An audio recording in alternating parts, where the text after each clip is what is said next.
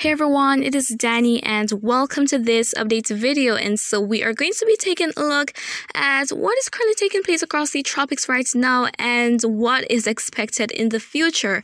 So it is likely that tropical cyclone activity is going to be resuming uh, maybe as we're going to be headed into the early part of August, which is literally just about two weeks or less away. And so uh, before I get into details,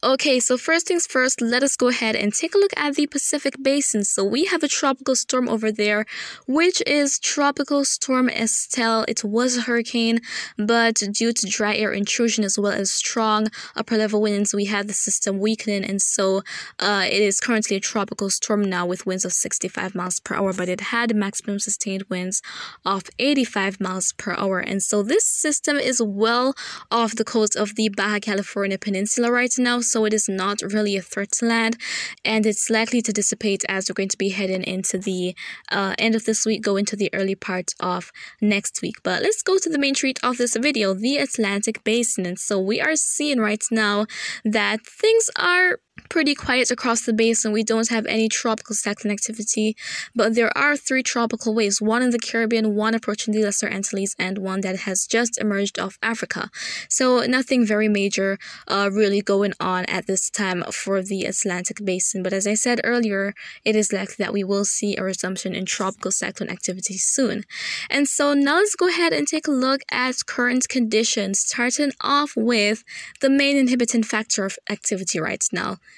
the dry air. So this is a map of the Saharan dust and we're seeing that there is quite an abundance that is out there in the main development region, extending to portions of the Caribbean. And so as we head more, more to the oranges and the reds, that is when we have a lot more dust that is present. And so uh, with all this dry air, things are just so hostile for tropical systems to try and develop. So the waves are basically struggling uh, as they make their way across the main development region when they emerge off Africa. So uh, that's what's going on right now, and this is typical of July. So uh, don't be that person to say that, oh, things are pretty quiet right now, so it's not going to be an active season.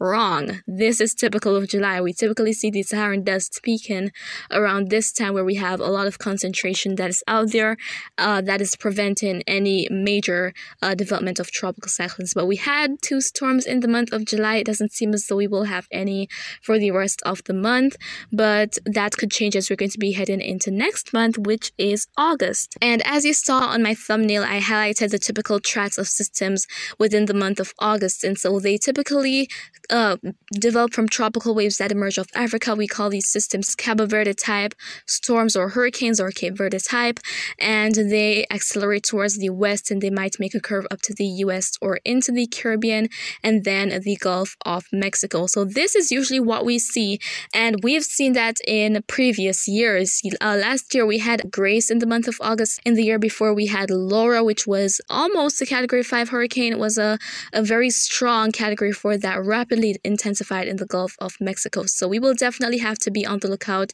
for those storms as we're going to be heading into the coming weeks. But as of right now, we have the Saharan dust that is suppressing activity. And later in this video, we will also take a look at something pretty important that I don't think I mentioned at all before in my videos, but it is a major factor that also helps to influence tropical cyclone activity. But moving on to the sea surface temperatures right now, things are pretty warm warm out there. But going closer to the coast of Africa, we're seeing that things are a little bit on the cooler side, but we don't really have a lot of development from that far, but we do have uh, systems being marked as disturbances, and then they might develop and intensify as they approach the Lesser Antilles. So we will definitely have to be watching those tropical waves that are going to be marching off the coast of Africa as we're going to be heading into the latter part of this month. And something else I want to point out to you guys, the Euro Ensemble tracks are showing something pretty interesting as we're going to be heading to the end of this month on well, near the end of the month, I should say, Friday, the 29th of July. We have some members here showing maybe something is going to be trying to develop, maybe one of those tropical waves that are expected to emerge off the coast. But let's wait and see what's going to be happening. But as we take a look more to the left side of this map here, we're seeing a lot going on in the Pacific.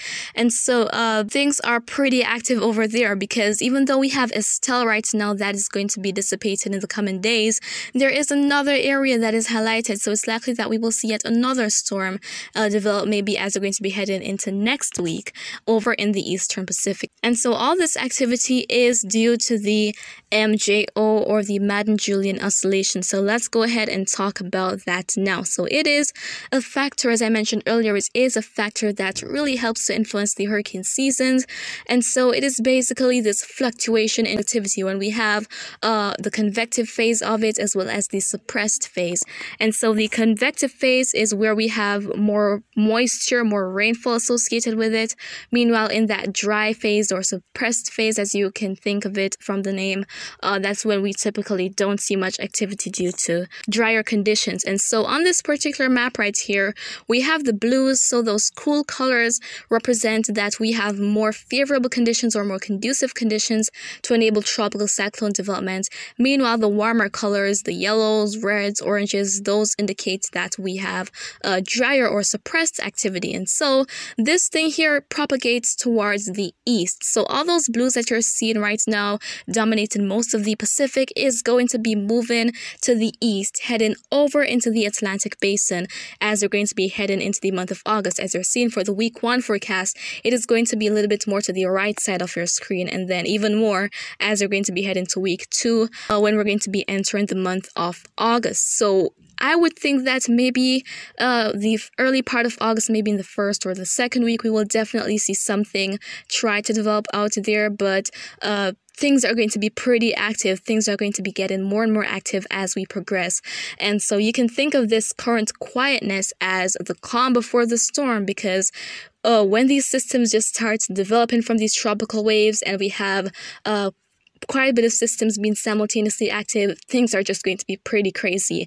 And this season is already expected to be an above average hurricane season. Some sources calling for as much as 20 named storms.